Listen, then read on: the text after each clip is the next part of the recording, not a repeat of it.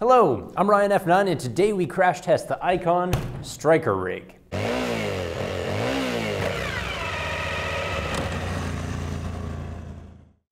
Fun fact, this is the preferred blouse for 90% of the world's mercenaries.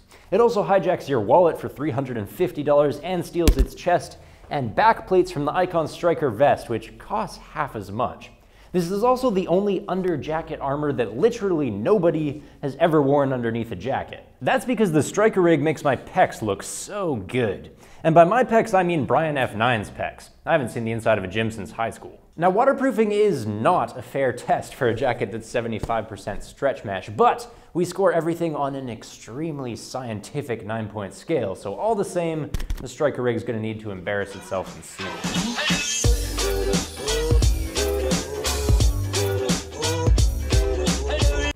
Failure, that thing motivational posters refer to as a stepping stone to success. Well, in this case, it's a stepping stone to getting shot, because our next test is puncture strength, where we fire a BB, a lead pellet, and a penetrating pellet at 500 feet per second.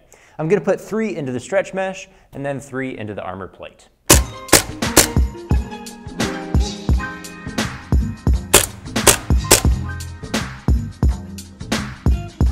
So all three shots made it through the mesh layer. I'm pretty sure that this penetrating pellet's probably embedded somewhere near Brian F9's liver, which is less than ideal. Up on the armor plate though, we did stop all three shots. I guess we'll call that a half success.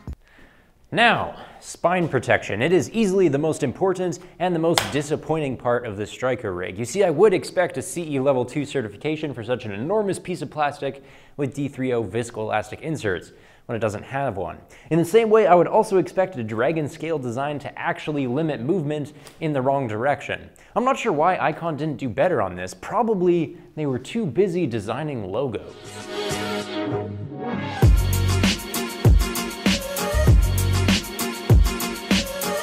So we've already heard my insults, and there's the injury, more than 100 Gs.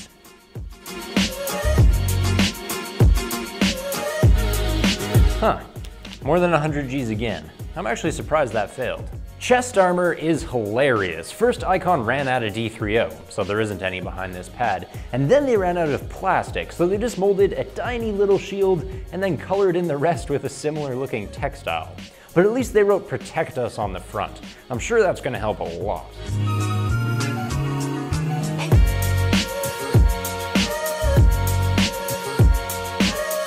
Oh no, that is very confusing. The Protect Us badge must not have worked for some reason. Now maybe I forgot to say the magic word. Half mark. That'll be the magic word when it comes to abrasion resistance. Are you ready to see me grind through the Stryker Rig's chassis? Done. But watch me grind through one of the armor plates. It takes a minute and 21 seconds until Brian F9 starts losing skin. He can't even ride a motorcycle that long, let alone crash one for a minute and 21 seconds. So we get yet another half point for abrasion resistance. I'm starting to think that the Stryker rig is only half a decent jacket.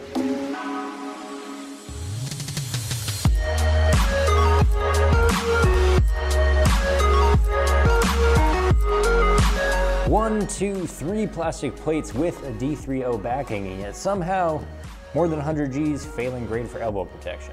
Welcome to the burn unit, where we test fire resistance, and it looks like HydraDry is actually pretty good. Oh, there's D3O in there, you can already smell it. it. Smells like oranges a bit, it actually does when you burn D3O. Let's go up to the plastic. Nothing exciting going on there. Again. This is biofoam on the waist belt. Whoa, that stuff is, whoo, that's flammable. Now go for the main chassis here is stretch mesh. And no surprises, you get through that super easily.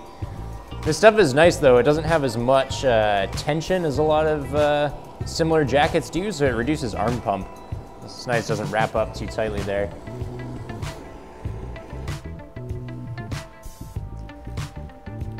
So one trip to the burn unit and we are essentially left with a collection of impact protectors. The mesh chassis had no fire resistance whatsoever, just burned up and vanished almost instantly. By contrast, the armored bits, well, they actually did pretty well. that makes sense since what you're paying for here is essentially some mediocre impact protectors and not much else. I guess we'll call that another half point. If I may draw your attention to the back protector, we noticed quite a significant build quality issue today, which was these rivets that hold the dragon scales in place, and they have quite a knack for popping out. We lost a lot of those. The other thing we noticed, which is quite rare, is that the impact protectors, they actually fractured apart during some of the tests, which we don't normally see, and that might be why they did worse than I expected. So, a failing grade for build quality rounds out FortNine's 9 tests. If you've been tracking all right, you'll know that the Icon Stryker rig scored one and a half Fort 9s out of nine, which is terrible.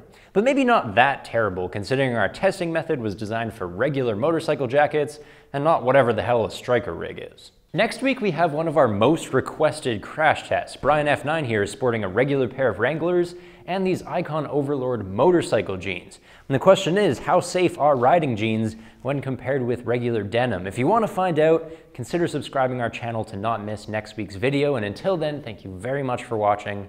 Take care.